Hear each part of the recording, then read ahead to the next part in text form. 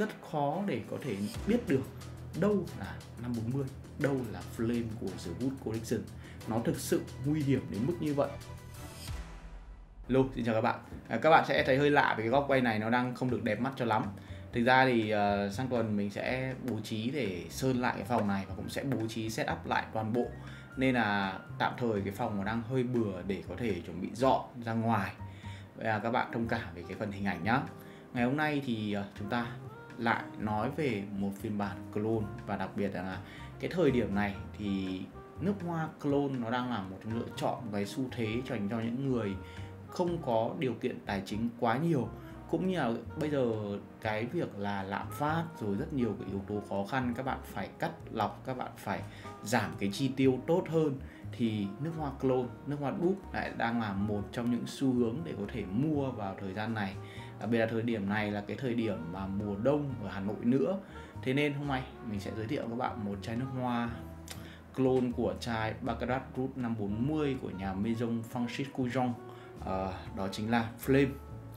Đây của nhà The Good Collection. Và nhà này thì quá là nổi rồi. Nhưng mà cụ thể về em này như thế nào xem mà nó có đáng mua hay không.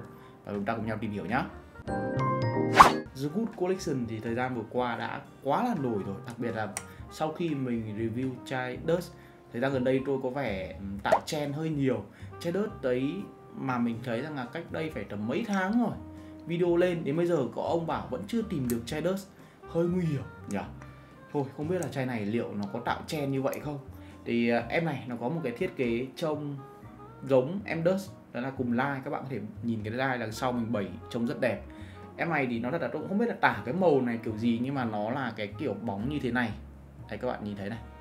Nó rất là bóng và cái đây là một cái lớp mạ thì mình đang lo một cái vấn đề đó là không biết em này cái lớp mạ này nếu như mà chẳng may xịt mà có bị lích ra thì nó có bị bay màu hay không? Chai này thì còn khoảng tầm 30 ml nhưng mà uh, cũng không thấy có cái ảnh hưởng gì về cái việc bị lích chứng tỏ là cái vòi nó hoàn thiện tốt này. Cái thứ hai là cũng có thể là lích ra rồi nhưng mà nó không bị bong cái lớp mạ này à, cá nhân tôi thì tôi rất thích thiết kế của nhà The Good Collection này đặc biệt là cái nắp gỗ này. Nó vẫn là cái nắp gỗ nam châm tất cả like luôn. Ở đây có mấy con liền. Ờ, à, còn một con nữa là clone của chai Blur de Chanel. Thì sau này sẽ review sau. Tóm lại là về thiết kế nhà này thì bày khoảng tầm 5 con thôi thì đỉnh của chóp cũng không khác gì mấy cái nhà nít cả. Đặc biệt là mấy cái nhà như kiểu Soluton chẳng hạn hay là Kibion. Bày mấy nhà này xung quanh cũng ngang phèo đấy. Đừng đùa. Bây giờ thì chúng ta đến với phần mùi hương mình chỉ nói một câu rằng nó giống vai luôn. Thời điểm hiện tại thì con Flame này là một trong những con clone mùi làm giống với 540 nhất mà mình từng thử. Trước đây trước con này đó là con uh, Anharaman. Phiên bản uh, Ruby là mình thấy là đã rất là giống rồi nhưng mà với phiên bản này nó thật là chắc là có khi lấy rui của 540 đổ vào cũng nên tại vì nó quá là giống luôn nó giống một cách kinh khủng khiếp luôn đấy và cái vấn đề nó làm giống như này thì hôm trước tôi đã chia sẻ một cái video ở trên top top. Đó là nếu như mà nó làm giống như vậy thì cái vấn đề mà mua chiết cũng như là thời gian gần, gần tới đây thì nó sẽ chuyển sang tất cả những cái chai là chai refill. Thì nó sẽ là một cái vấn đề cực kỳ nguy hiểm cho những người mới những người đi mua chiết cái này thì mình nghĩ là sau một thời gian người ta cũng sẽ giải quyết được thôi. Tất cả những cái vấn đề khi mà mới xảy ra thì nó sẽ khó khăn một tí nhưng mà về lâu về dài thì nó cũng sẽ ổn định thôi. Mũi gương của em này thì xịt ra em 540 như thế nào thì con này y như vậy.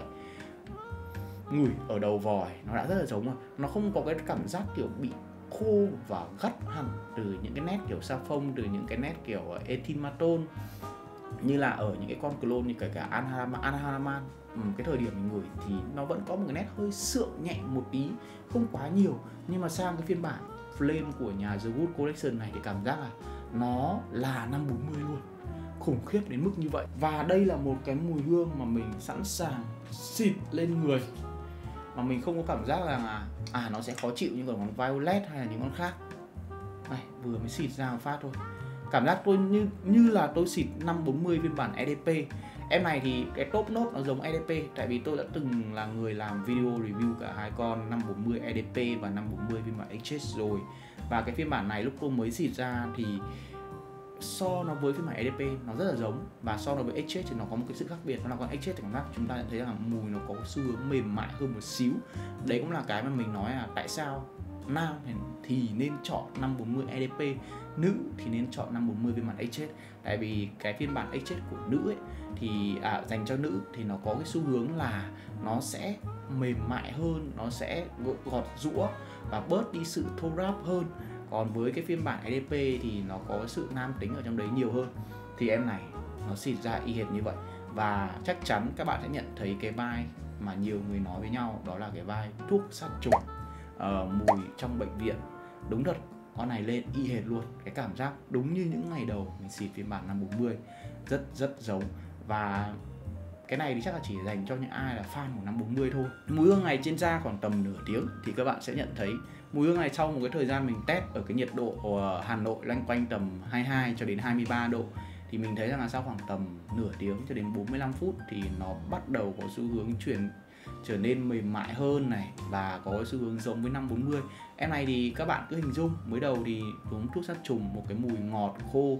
Thực ra thì trong chai Baccarat hút 540 của nhà MFK ấy, thì cái um, nguyên liệu nó sử dụng nhiều nhất đó là etimatol một cái mùi tạo ra cái uh, gợi chúng ta nhớ tới cái mùi kẹo bông gòn à, kẹo bông hoặc là kiểu kẹo đường cháy. Thì em này sau khoảng tầm tiếng, nó cũng ra cái hiệu ứng như vậy. Và nó thật là rất khó để có thể nhận biết được khi các bạn xịt hai con vào hai tay. Và các bạn cháo hoặc là các bạn chỉ cần một người khác xịt trong cho các bạn biết đó là chai nào thì mình cam đoan với các bạn rằng với những cái gì 540 mà mình nghe đồn thời gian gần đây đó là những cái phiên bản nhiều khi nó bị bám kém đi hay là cái phiên bản này nó quá hoàn thiện thì các bạn sẽ rất khó để có thể biết được đâu là 540 đâu là flame của The Good Collection. Nó thực sự nguy hiểm đến mức như vậy.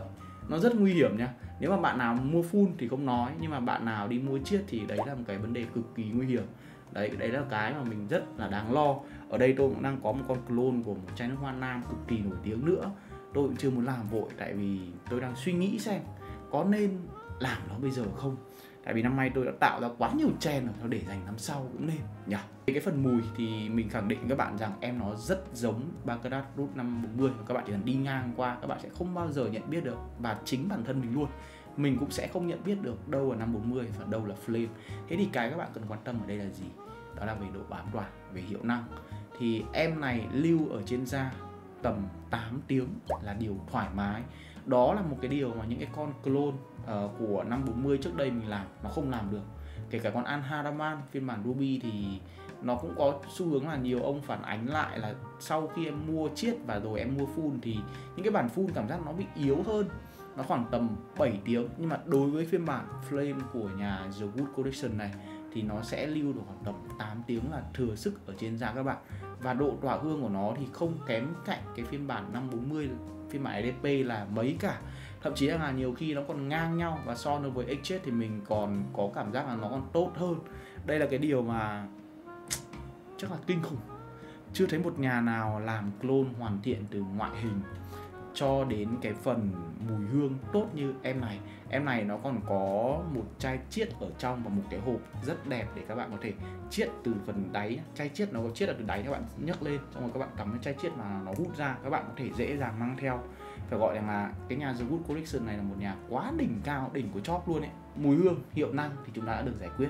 Vậy thì bây giờ còn một cái nữa, đó chính là cái vấn đề về giá tiền hiện tại thì con flame của nhà The Good Collection này nó khoảng tầm hơn một triệu đồng. Chắc là xem xem với con ruby của nhà Anharama, tầm tầm vậy. Mình cũng chưa cập nhật giá, tại vì hôm trước mình lâu lâu mình có xem, lúc mà mình mới nhận thì mình thấy rằng là nó khoảng tầm lanh quanh tầm hơn một củ. Và con ruby thì nó cũng xem xem con ruby đắt hơn một xíu. Thì mình có thể tự tin nói với các bạn rằng đây là một cái giá rất tốt để các bạn hoàn toàn mua một chai full sử dụng vào mùa đông sắp tới, mùa đông ở Hà Nội và với một cái đó là cái tình hình tài chính nó đang rất là khó khăn. Nhưng mà các bạn vẫn có nhu cầu muốn sử dụng những chai nước hoa nổi tiếng. Và cái vai cái DNA của năm 40 ấy, nó là cái mà gần như mùa đông ra đường các bạn nhận thấy rất là nhiều. Và nếu như các bạn muốn mặc nó muốn trở nên là một cái mùi tỏa tốt ấm áp giữa mùa đông thì flame này làm được. Và với một cái mức giá tốt hơn. Cái này không công nhận con nào ngon thì vẫn phải khen con nào không ngon như kiểu con ờ, uh, Khama nó không giống với NG tôi đưa ra quan điểm rõ ràng. Chứ tôi không chơi kiểu ở con nào tôi cũng ngon đấy. Các ông xem video phần clone này các ông có thể lội lại ở trên kênh. Các ông thấy là tôi không phải con nào tôi cũng khen. Nhưng với cái phiên bản của Flame này thì tôi phải nói một câu là gần như rằng nó rất giống nhau về tất cả mọi mặt và chỉ khác mỗi cái phần vỏ ở ngoài thôi mà vỏ thì cũng thiết kế quá ổn.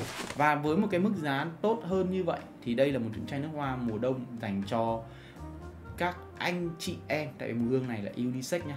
Và đương nhiên các anh chị em nào đang có nhu cầu tìm một chai nước hoa vào mùa đông với mức giá rẻ uh, mang cái DNA quốc dân thì đây là một trong những chai nước hoa mà các anh chị em không thể nào bỏ qua. Ở đây là clone thì tôi cũng không có gì để review nhiều nhưng tôi đánh giá đây là một con ngon, một lựa chọn quá ổn để dành cho những bạn nào không có nhu cầu mua tới 540 uh, ờ, phiên bản EDP hay phiên bản HS của nhà MFK thì nó hoàn toàn là một cái lựa chọn siêu siêu tốt.